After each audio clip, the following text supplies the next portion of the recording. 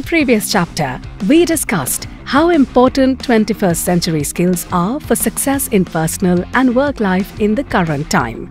These skills include careful thinking, problem solving, talking with others, working as a team, being imaginative, and staying on task. This video will demonstrate how these skills are connected to sports and physical activities and why they matter in the 21st century. Let's know about the teamwork and collaboration skills from the practitioners of Sports for Development, S4D.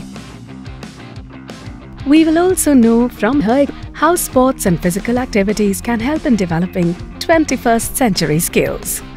Hello everyone, I'm Kalyani Subramaniam from the Maitrayana Charity Foundation, a grassroots non-profit that works on gender equality. In the last 16 years in the field of sport for development, I have witnessed the power of sport in building leadership and empowering thousands of adolescent girls across India.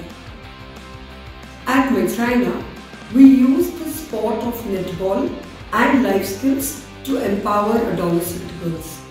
Among all the skills that are relevant for young people, I find teamwork and collaboration to be extremely critical. No sport can be played alone.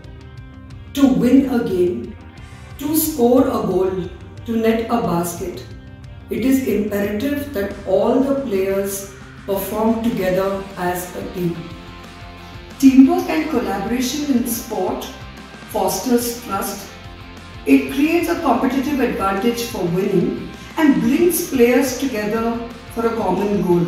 One of the biggest factors for the success of any company is whether or not its employees function together as a team. With increasing competition, collaboration is imperative. With teamwork and collaboration, employees work quicker and are more effective. Teamwork is not a given. In the communities that we run our programs, participants are divided divided because of class, caste, religion, gender. Sport serves to build cohesion and proves to be that leveler. If you have to get the ball to the basket, then you have to pass to your team member even if you don't like her. Thus, PE teachers, coaches, facilitators need to think of how do we design for collaboration and teamwork. Some of the strategies that one can use are in the warm-up, can we look at people doing team activities, relays, challenges where they have to work together as a team. In team sports like football, netball, hockey, there are specific positions that players can take. As a facilitator, can we encourage the participants to rotate and take different positions center, goal attack.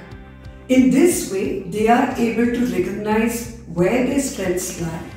They're also able to recognize what it would take to play the different positions, but also realize what strengths they bring to the team. S4D is all about acquiring skills and experiential learning through actively engaging in sports activities. People take part in sports to learn new skills and gain knowledge. S4D uses sports for more than just fun and exercise. It employs sports to make people stronger, help them grow, and create positive changes in society.